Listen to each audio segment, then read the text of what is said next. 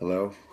Uh, last night at a Queens of the Stone Age performance, um, I kicked the camera of a photographer, and that camera hit the photographer in the face, and the photographer's name was Chelsea Lauren.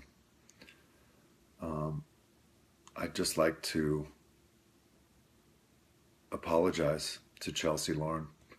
I don't have any excuse or reason um, to justify what I did.